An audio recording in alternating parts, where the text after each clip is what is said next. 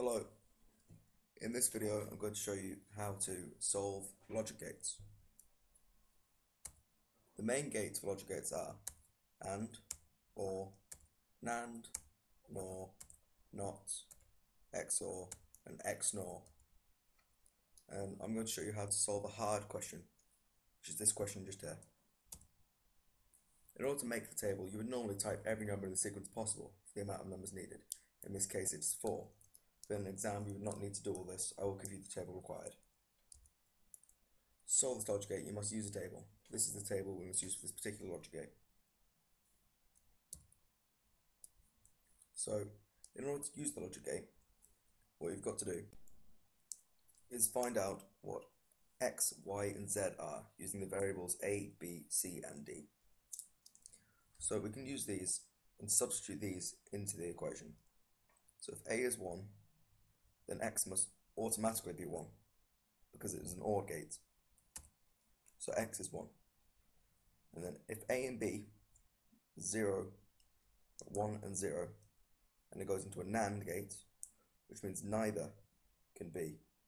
So that will also come out as 0.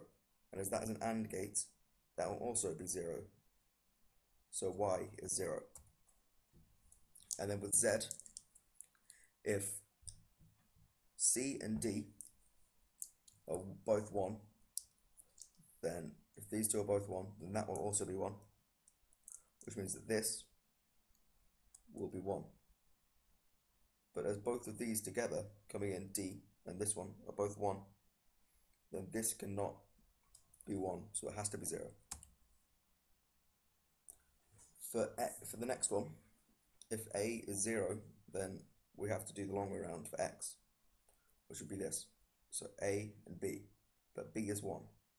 So that means that X is 0. For Y, it would be B and C, and this is a NOR gate, so B is 1, so that would also be 0. And C and D would be 0, so Y is also 0. For Z, D is 1, which means that Z would have to be 0, as it is a NOR gate. For this one, X would be 1 as A is 1. B and C are both 1, so that would be 0. Meaning Y would have to be 0. And Z would also have to be 0 as D is 1. For this one, A is 0. And B and C are both 1, which means that X will have to be 0. And Y because B and C are both 1, will also have to be 0. And D is also 1, so Z will have to be 0 again.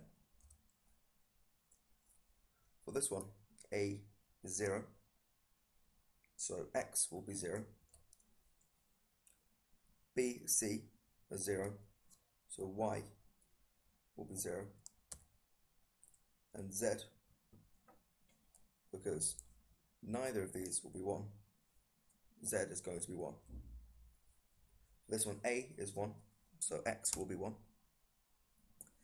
B and C are both 0, which means this comes out as 1. But that will be 0 coming there, and that will be 1 coming in there, which means that Y will have to be 0 again.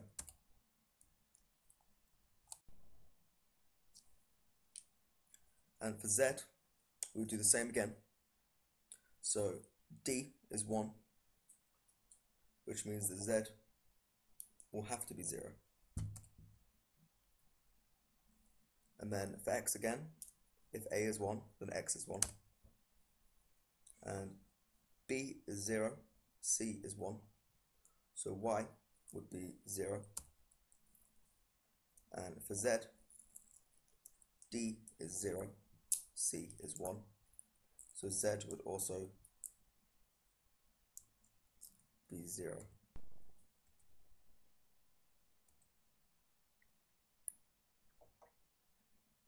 Thank you very much for watching and here are the answers.